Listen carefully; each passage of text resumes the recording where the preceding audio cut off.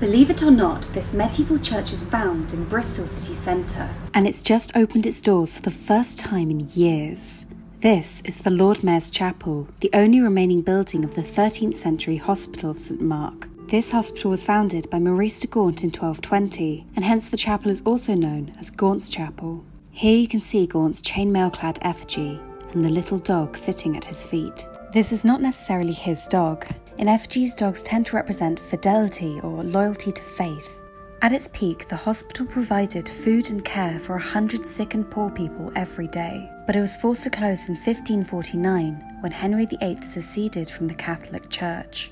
This is perfectly illustrated in the ceiling of the Jesus Chapel, in which you can still see the arms of Henry VIII and Catherine of Aragon, the last queen before the original hospital was closed.